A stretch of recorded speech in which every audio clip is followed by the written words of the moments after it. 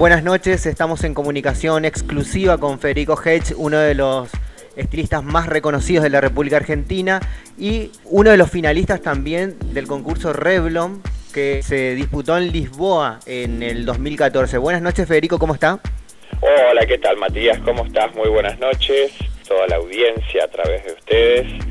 La verdad que es un placer estar en contacto con ustedes. Sí, esta nota, Federico, también es para la gente que se va a poner en contacto contigo el 14 y 15 en el seminario que se va a dictar en Chaco, pero volvamos a como también clasificaste para este mundial eh, que se ha disputado en, en Lisboa. Bueno, esto es un concurso que se llama el Style Master Contest que organiza Revlon Internacional.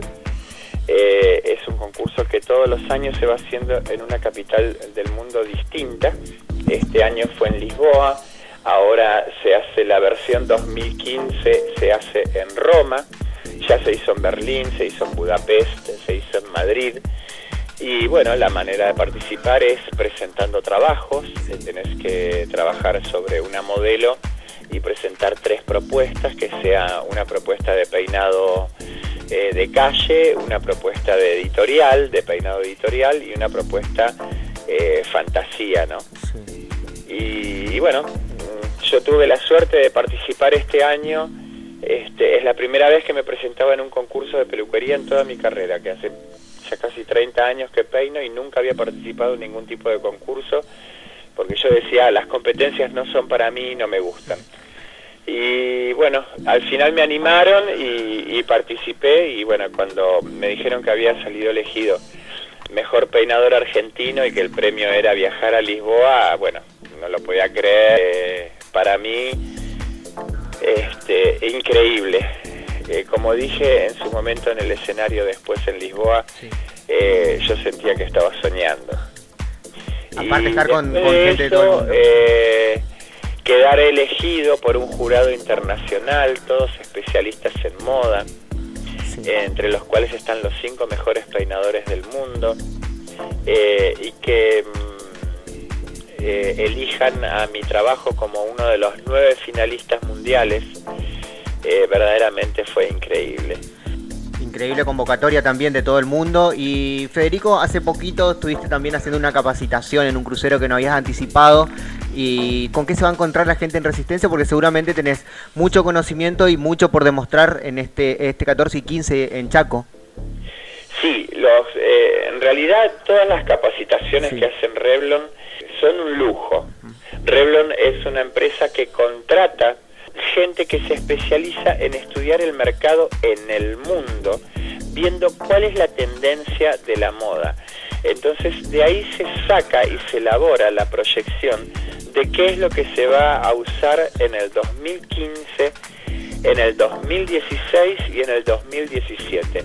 Revlon ya lo sabe, en base a eso las empresas de cosmética ya están preparando las tendencias en paleta de colores para los cosméticos, en paleta de colores eh, para pelos, y los diseñadores cuentan también, los grandes diseñadores del mundo, eh, las grandes firmas cuentan con esta información también para elaborar las colecciones y decidir los, eh, qué estampados, qué colores. Toda esa información la recibimos en este training en el Caribe 2014, aparte de una capacitación técnica propiamente de peluquería, ¿no? Con toda la presentación de la línea de los colores fondant de, Revlon y las técnicas de corte. Verdaderamente eh, eh, es una capacitación muy, muy linda, muy intensa. Y bueno, y eso es lo que quiero transmitir también eh, para la gente del interior. Y sobre todo lo que me interesa recalcar, que siempre recalco algo cuando hago una capacitación, que bueno, me he presentado ya muchas veces en Artellesa, en Córdoba, aquí en Capital Federal, y tengo mis alumnos, y en, ACP, en distintos organismos que doy este, capacitaciones. Lo que busco es que eh, el profesional se lleve cosas que verdaderamente sean aplicables en el salón y que nos ayuden a mejorar nuestro servicio de peluquería y a mejorar nuestra facturación. Perfecto. Federico, eh, para la gente que, está siguiendo tus publicaciones, vemos que estás en actividad permanente las 24 horas, casi sin descanso. La satisfacción tuya de, estar también en, principales producciones de, revistas importantes a nivel nacional de moda, esto también te trae un doble orgullo, uno por ser peinador y dos también por, por participar y ser convocado por estas producciones, mencionando algunas de las que estuviste trabajando en este tiempo. Bueno, mira, yo permanentemente publico en todas las revistas de novias y de 15 años que se publican aquí en Argentina. Revista Nubilis, Mundo Novias, Novias Punto de Partida, eh, Colección 15 años, eh, 15, eh, Revista Vestidos de Fiesta, Revista Mujercitas. Y bueno, tengo semestres en que verdaderamente me siento muy, muy feliz porque de seis revistas de novias y 15 años que hay aquí en Argentina, que cinco me llamen y me digan, quiero que seas el peinador de la tapa o quiero que seas el peinador y el maquillador de la tapa, reconforta mucho.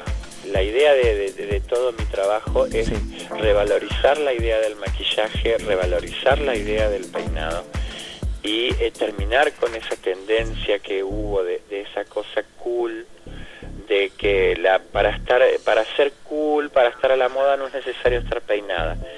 Eh, eso eh, tenemos que revocarlo a través de nuestro trabajo y a través del trabajo que realizamos con nuestras manos y de las propuestas que le hacemos a nuestros clientes porque de esa manera obligamos a la gente que cuando necesite verse ver bien peinada para un evento, tenga que recurrir a nuestro salón y tenga que recurrir a nuestro servicio. Para Data TV en exclusiva, gracias a Franco Molls también que está con la organización general de este, de este importante evento. Es el último evento y el gran evento del año que va a vivir Resistencia, Formosa y Corrientes. Por la expectativa que está generando tu visita y también por todo esto que estamos hablando, el tema de la estética, la moda, el maquillaje, el peinado.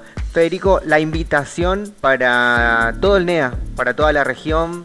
Eh, la verdad que, bueno, los espero, los espero con, el corazón, con las manos abiertas y espero que nos nutramos todos, porque así como eh, yo puedo transmitir un conocimiento, siempre me pasa que cuando empezamos eh, en, la charla previa en sí al curso, uno va conociéndose y va viendo trabajar a otro profesional. Por eso la idea de hacer esto tipo taller no es que yo solamente voy a mostrar. Yo quiero que la gente trabaje y, ver si puedo ayudarlos a corregir en algo el trabajo que están haciendo. Eh, nos vamos nutriendo entre todos y eso enaltece a todos los profesionales.